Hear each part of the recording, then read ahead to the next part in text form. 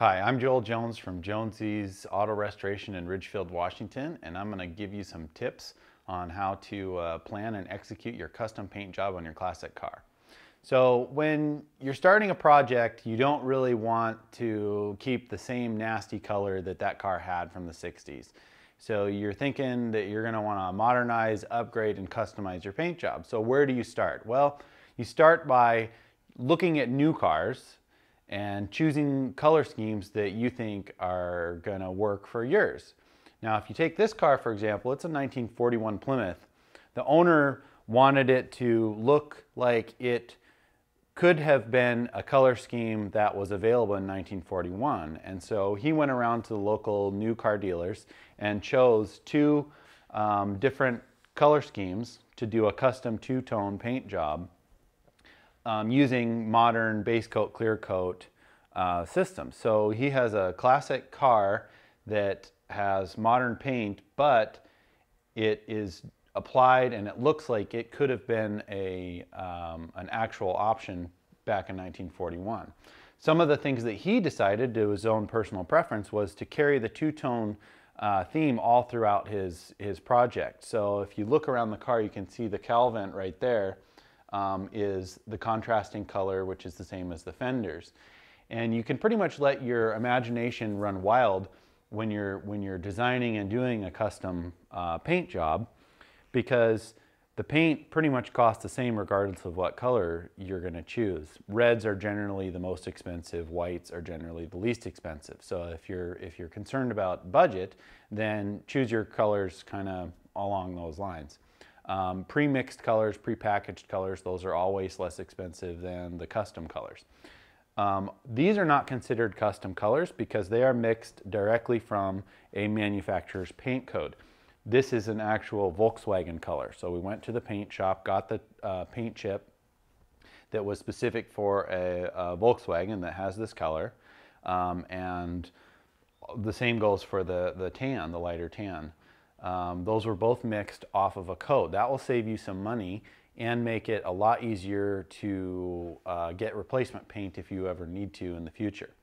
Um, one other tip that you can use for custom paints, carry your paint job color scheme throughout into the interior. So a lot of times manufacturers will stop, they'll paint the exterior of the car and then they'll stop and then they'll have a completely different color on the interior. Well, it looks pretty cool on certain cars to carry that color scheme throughout the interior. And so what we did on the dash with this car is we colored, we maintained the same two contrasting colors all the way through into the steering column, into the dash, into some of the trim pieces in the dash so that you really feel like you're going into something that is a one of a kind. It's, there's no other car out there that has this same color scheme.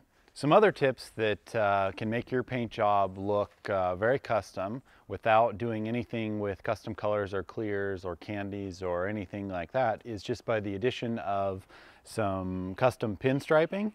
Uh, this is a silver leaf with two eighth inch black uh, pinstripes on top. It runs the whole length of the truck. Um, you can apply these before or after clear coat. This one's on top of the clear coat, so you need to be careful about polishing and stuff like that because this uh, pinstripe and silver leaf is pretty fragile. But this uh, can oftentimes substitute trim um, pretty, pretty well so that you don't have to buy replacement trim or if your trim is dented, you can fill those holes up and then just uh, pinstripe it and add some silver leaf at a later date. Another really simple thing you can do to make your paint job look custom is by the addition of custom emblems. Um, the aftermarket suppliers of parts have all kinds of different options for different emblems that uh, promote different engine sizes, different packages and stuff like that that you can buy and put on your vehicle. So keep that in mind because a lot of times you can make a paint job look custom just by the addition of pinstripes, emblems, and things like that. Finally, one thing I'm going to show you that's very subtle that, that makes a big difference in terms of, uh, of appearance is by adding things in underneath of the paint or integrating in different textures in the paint.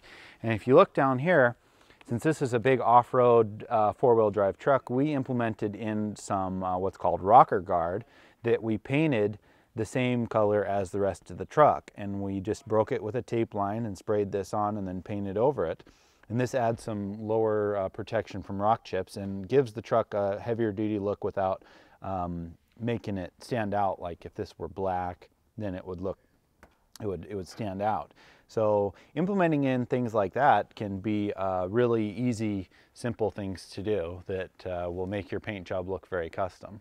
So finally, um, one of the other things that you can do to make your paint job appear to be custom and customize it individually for you um, is to have uh, the pinstriper or somebody airbrush or stencil on some custom logos.